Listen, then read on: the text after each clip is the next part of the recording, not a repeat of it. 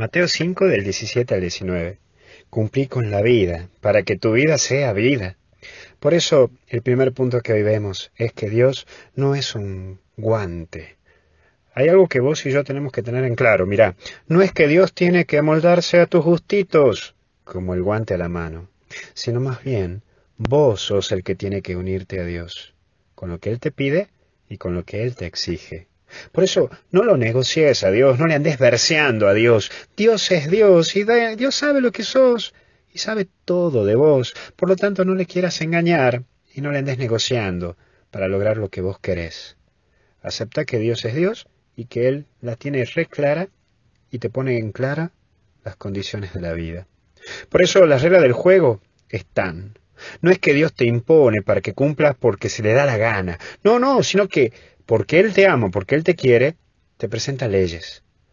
La verdad ética, eso que te permite vivir en la verdad y también en la tranquilidad, porque imagínate que vivir en paz es algo maravilloso. Y para tener paz tenés que trabajar en vos y asumir condiciones y leyes de la vida, porque la vida tiene sus condiciones, tiene sus leyes, y lo que no es blanco es negro y lo que no es negro es blanco, pero no vivas en grises, porque te golpeas vos mismo y terminas en la angustia.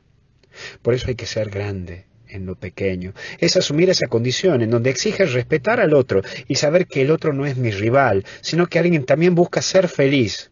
Eso sí, trata de evitar que para que vos seas feliz no le compliques la vida al otro o destruirle la vida al otro. Eso no.